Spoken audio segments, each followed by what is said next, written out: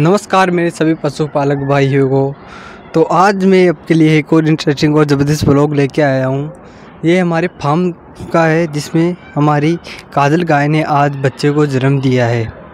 इसने बच्चे को जन्म सुबह छः बजे के आसपास दे दिया था, जब मैंने फ़ार्मिंग साइड में आके देखा, तभी मैंने देखा काजल ने बच्चे को जन्म दे दिया है। और हमारे लिए खुशी की बात ये थी कि इसने रात को बच्चे को जन्म नहीं दिया। रात को अगर ये बच्चे को जन्म दे दी तो पता नहीं क्या हो जाता। इसलिए इसने सुबह जैसे मैंने फ़ार्मिंग साइड में आके देखा तो तभी मैंने देखा कि काजल ने बच्चे को जन्म दे दिया है।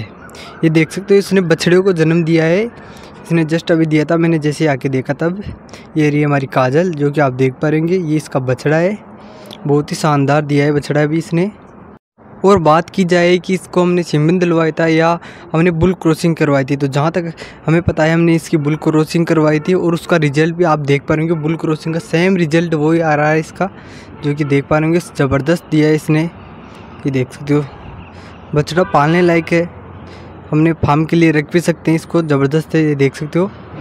ये कुछ टाइम बाद इसने अपनी माँ का दूध चौंकने की भी कोशिश की है, ये देखिए।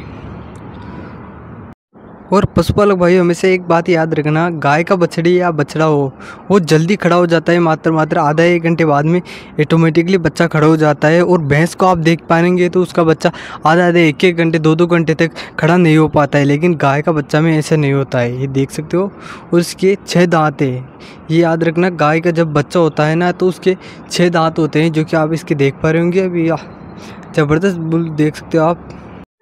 और बात की जाए कि इसकी ब्यात कौन सी है। तो इसकी ब्यात है थर्ड टाइम इसने बच्चे को जन्म दिया है और इसकी दूध की बात की जाए तो इसने पिछले बार भी इसने आठ लीटर से लीटर से अधिक दूध दिया था। और अब की बार की अगर बात की जाएँगी तो मैं आपको अपडेट देता रहूँगा। अगर हमारे चैनल पे आप नहीं हो तो सब्सक्राइब ज़रूर करें।